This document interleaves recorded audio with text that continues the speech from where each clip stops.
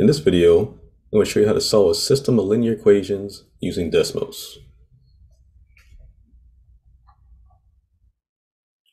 All right, first you want to put in your equations. So I'll do the 2x plus y equals 6, my first line. Okay, then I'll click in the second spot here to put my second line. It was 3x plus 4y equals 19. Okay.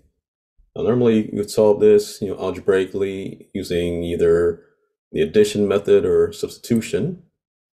But with Desmos, you can skip over all that and just graph them and find out where they intersect.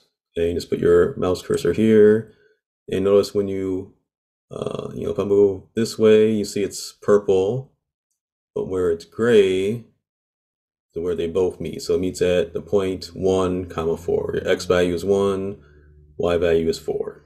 Okay, and they might an SAT might ask you, you know, the x value, might ask you the y value, might ask you the x minus y value. Okay, just pay attention to what uh, answer they want. Okay, so that's finding out where, where they intersect. That's one method of how to do it. Okay.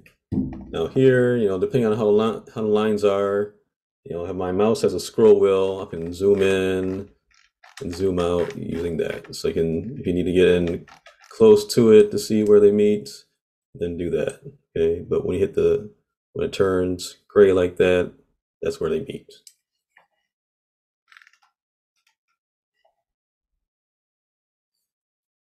Now, second way to solve this is using regression.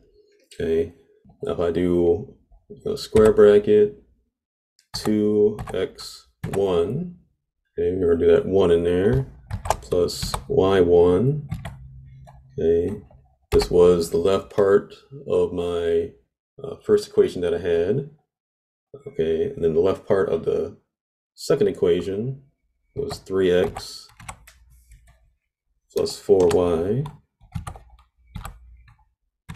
Okay, end it with the uh, square bracket. Okay, and then on the right side of those equations, now here I need to do the tilde, which is going to be shift, uh, and a number in the button next to your one on your keyboard, above the tab button. Okay, and then six comma 19. Okay, now my original equations were 2x plus y equals 6, and 3x plus 4y equal 19. Okay, so left sides of my equation were these two, okay, and the right side were these two.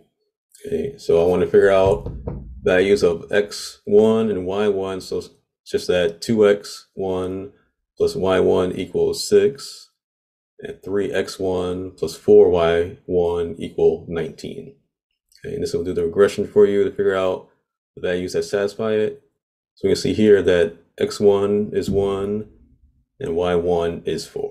Okay, so so this, using this method, I didn't need to zoom in and find out where they meet. You know, some lines might be way out there, you got to find it, but this does it, this solves it right away. Okay.